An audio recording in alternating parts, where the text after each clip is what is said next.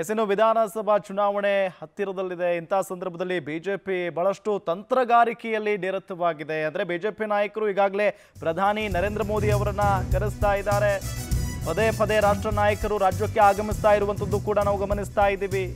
ಮೂರು ಹಂತದಲ್ಲಿ ಅಭ್ಯರ್ಥಿಗಳ ಪಟ್ಟಿ ಪ್ರಕಟಿಸಲು ಬಿಜೆಪಿ ಚಿಂತನೆ ನಡೆಸಿದೆ ಅನ್ನೋದು ಗೊತ್ತಾಗ್ತಾ ಇದೆ.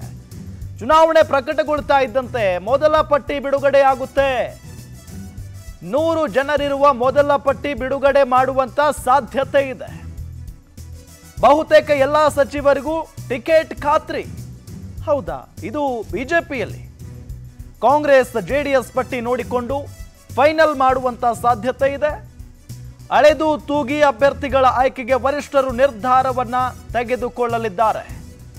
ವಿಧಾನಸಭಾ ಚುನಾವಣೆಗೆ ಒಂದು ಕಡೆ ಕಾಂಗ್ರೆಸ್ ಮತ್ತೊಂದು ಕಡೆ ಜೆ ಡಿ ಎಸ್ ಇನ್ನುಳಿದಂಥ ಪಕ್ಷಗಳು ಯಾವ ರೀತಿಯಾಗಿ ರಣತಂತ್ರವನ್ನ ರೂಪಿಸ್ತಾ ಇದ್ದಾವೋ ಗೊತ್ತಿಲ್ಲ ಆದರೆ ಬಿಜೆಪಿ ಮಾತ್ರ ಬಹಳಷ್ಟು ಅಲರ್ಟ್ ಆಗಿದೆ. ಶತಾಯ ಗತಾಯ ಈ ಬಾರಿ ಅಧಿಕಾರವನ್ನ ತನ್ನ ತೆಕ್ಕೆಗೆ ಹಾಕಿಕೊಳ್ಳಲೇಬೇಕು. ಫ್ರೀಡಮ್ ಆಪಲ್ ಕಲ್ತು ತೈವಾನ್ ಸೀಬೆ ಬೆಳಿತಿದ್ದೀರಾ? ಹಾಗಾದ್ರೆ ನಿಮ್ಮ ತೈವಾನ್ ಸೀಬೆ ಹಣ್ಣುಗಳನ್ನ ಒಂದು ಕೋಟಿಗೂ ಹೆಚ್ಚು ಫ್ರೀಡಮ್ ಆಪ್ ಬಳಕೆದಾರರಿಗೆ ಯಾವುದೇ ಖರ್ಚಿಲ್ಲದೆ ಮಾರಾಟ ಮಾಡಿ. ಅನ್ನೋ ಒಂದು ನಿರ್ಧಾರವನ್ನ ತೆಗೆದುಕೊಂಡು ಬಿಟ್ಟಿದೆ ಕಾಂಗ್ರೆಸ್ ಜೆಡಿಎಸ್ ತ್ವರಿತವಾಗಿ ಅಭ್ಯರ್ಥಿ ಪ್ರಕಟಿಸಿದ್ರು, ತಾನು ಅಳೆದು ತೂಗಿ ಅಂತಿಮಗೊಳಿಸಬೇಕು. ಇದು ಬಿಜೆಪಿಯ ಲೆಕ್ಕಾಚಾರ. ಬಿಜೆಪಿಯ ಲೆಕ್ಕಾಚಾರ ಏನು ಅನ್ನೋದನ್ನ ನಾವು ಗಮನಿಸ್ತಾ ಹೋಗ್ಬೋದು. ಕಾಂಗ್ರೆಸ್ ಜೆಡಿಎಸ್ ತ್ವರಿತವಾಗಿ ಅಭ್ಯರ್ಥಿಗಳನ್ನು ಪ್ರಕಟ ಮಾಡಿದ್ರು ಕೂಡ, ಬಿಜೆಪಿ ಅಳೆದು ತೂಗಿ ಅಭ್ಯರ್ಥಿಗಳನ್ನು ಪ್ರಕಟಿಸಬೇಕು. ಮೊದಲಿಗೆ ಗೊಂದಲ ಇಲ್ಲ.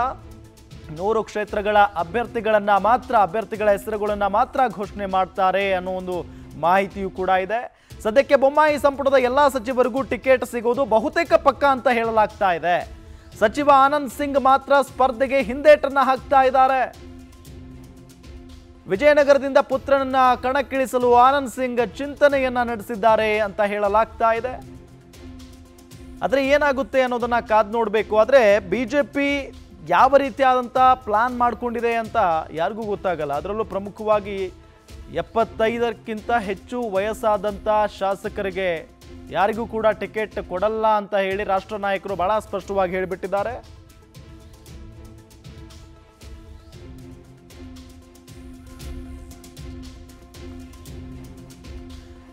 ಇದೇ ವಿಚಾರಕ್ಕೆ ಸಂಬಂಧಪಟ್ಟಂತೆ ಹೆಚ್ಚಿನ ಮಾಹಿತಿಯನ್ನು ನೀಡ್ತಾರೆ ನಮ್ಮ ಪ್ರತಿನಿಧಿ ರಾಘವೇಂದ್ರ.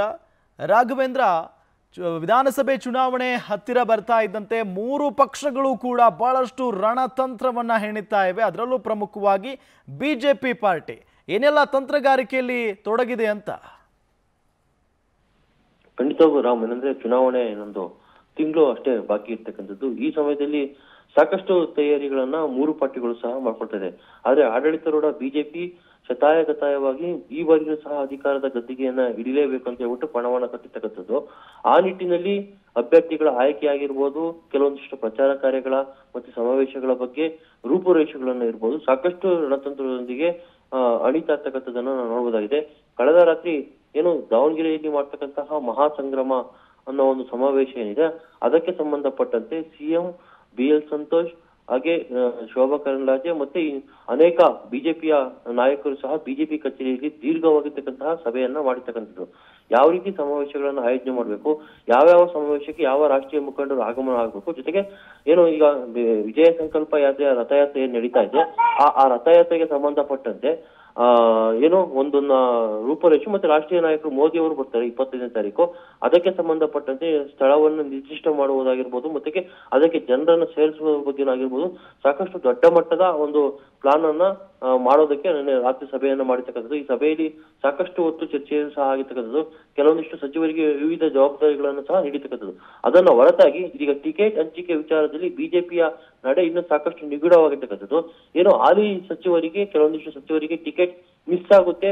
ಮತ್ತೆ ಎಪ್ಪತ್ತೈದು ದಾಟಿದವರೆಗೂ ಸಹ ಟಿಕೆಟ್ ಮಿಸ್ ಆಗುತ್ತೆ ಅನ್ನೋ ಬಿಜೆಪಿಯ ತತ್ವ ಸಿದ್ಧಾಂತ ಏನಿದೆ, ಅದರ ಅನ್ವಯ ಟಿಕೆಟ್ ಆಯ್ಕೆ ಆಗುತ್ತೆ ಅನ್ನೋದು ಸಹ ಹೇಳ್ತಾ ತಗತ್ತು ಆದ್ರೆ ಇಲ್ಲಿವರೆಗೂ ಸಹ ಯಾವುದೇ ರೀತಿಯ ಟಿಕೆಟ್ ಹಂಚಿಕೆಯ ಬಗ್ಗೆ ತಕರನ್ನ ರಾಜ್ಯ ನಾಯಕರು ಎತ್ತಿಲ್ಲ. ಎಲ್ಲವನ್ನು ಸಹ ರಾಷ್ಟ್ರೀಯ ನಾಯಕರು ನೋಡ್ಕೊಳ್ತಾರೆ ಅನ್ನೋ ಮಟ್ಟಿಗೆ ರಾಜ್ಯ ನಾಯಕರು ಕುಂದಿರ್ತಕ್ಕಂಥದ್ದು. ಈಗಾಗಲೇ ಕಾಂಗ್ರೆಸ್ ಅಲ್ಲಿ ನೂರೈವತ್ತಕ್ಕೂ ಹೆಚ್ಚು ಮಂದಿ ಟಿಕೆಟ್ ಫೈನಲ್ ಆಗಿರ್ತಕ್ಕಂಥದ್ದು. ಇಪ್ಪತ್ತೊಂದನೇ ತಾರೀಕು ಅಥವಾ ಇಪ್ಪತ್ತೆರಡನೇ ತಾರೀಕು ಅದು ಬಿಡುಗಡೆ ಆಗುತ್ತೆ ಅಂತ ಸಹ ಹೇಳಲಾಗುತ್ತೆ ಆದ್ರೆ ಬಿಜೆಪಿಯಲ್ಲಿ ಯಾವಾಗ ಟಿಕೆಟ್ ಬಿಡುಗಡೆ ಆಗುತ್ತೆ ಅನ್ನೋದ್ರ ಬಗ್ಗೆ ಇಲ್ಲಿವರೆಗೂ ಸಹ ಯಾರಿಗೂ ಸಹ ಗೊತ್ತಾಗ್ತಾ ಇಲ್ಲ. ಹೀಗಾಗಿ ಬಿಜೆಪಿ ಏನಾದ್ರೆ ಸಾಕಷ್ಟು ಕುತೂಹಲಕ್ಕೆ ಕಾರಣವಾಗಿರ್ತಕ್ಕಂಥದ್ದು. ಹೀಗಾಗಿ ಚುನಾವಣೆಯನ್ನ ಶತಾಯಗತಾಯವಾಗಿ ಗೆಲ್ಲುವಂತಹ ಕುದುರೆಗಳಿಗೆ ಟಿಕೆಟ್ ಅನ್ನ ಬಿಜೆಪಿ ಕೊಡೋದಕ್ಕೆ ಸರ್ವೆ ಆಧಾರದ ಮೇಲೆ ಟಿಕೆಟ್ ಅನ್ನ ಕೊಡೋದಕ್ಕೆ ಬಿಜೆಪಿ ತಂತ್ರಗಾರಿಕೆಯನ್ನು ಮಾಡ್ತಾ ಇರ್ತಕ್ಕಂಥದ್ದು ನಾವು. Thank you Raghavendra. Freedom app ಅಲ್ಲಿ ಕಲ್ತು ತೈವಾನ್ ಸೀಬೆ ಬೆಳಿತಿದ್ದೀರಾ? ಹಾಗಾದ್ರೆ ನಿಮ್ಮ ತೈವಾನ್ ಸೀಬೆ ಹಣ್ಣುಗಳನ್ನ ಒಂದು ಕೋಟಿಗೂ ಹೆಚ್ಚು ಫ್ರೀಡಮ್ ಆಪ್ ಬಳಕೆದಾರರಿಗೆ ಯಾವುದೇ ಖರ್ಚಿಲ್ಲದೆ ಮಾರಾಟ ಮಾಡಿ.